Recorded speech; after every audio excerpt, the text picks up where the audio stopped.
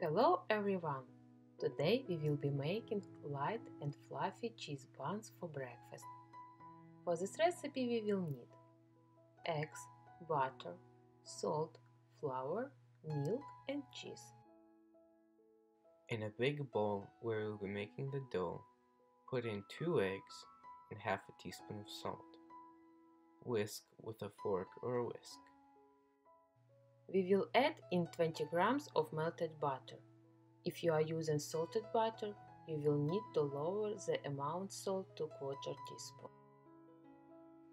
In all, we will need 250 milliliters of warm milk. First, add in 50 milliliters and mix well. Next, add in 140 grams of pre-sifted flour. Mix the dough well so it doesn't clump and add in the rest of the milk. Mix so everything comes together. The exact amount of ingredients can be found in the info box below.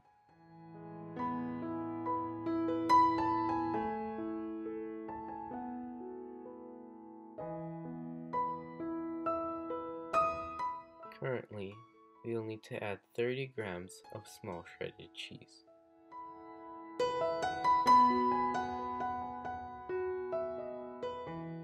Mix the dough and pour it into 16 muffin silicone cups to about halfway.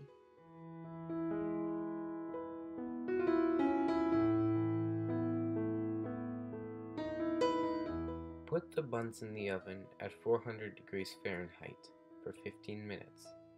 After 15 minutes, set the oven to 350 degrees Fahrenheit. Cook for another 15 minutes. Now your buns are ready.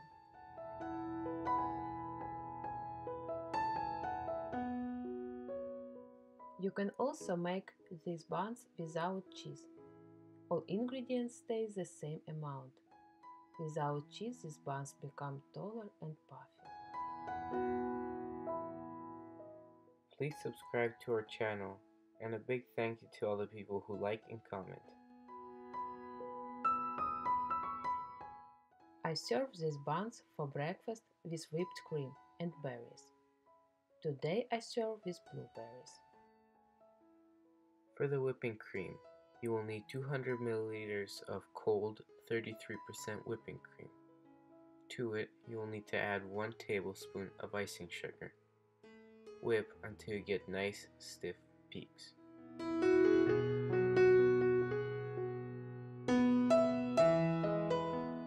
Cut the buns in half and fill with whipped cream and berries.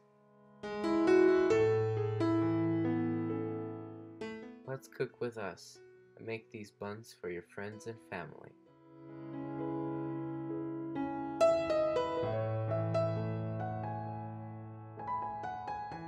Thank you for watching. And see you next time. Bye bye. Bye bye.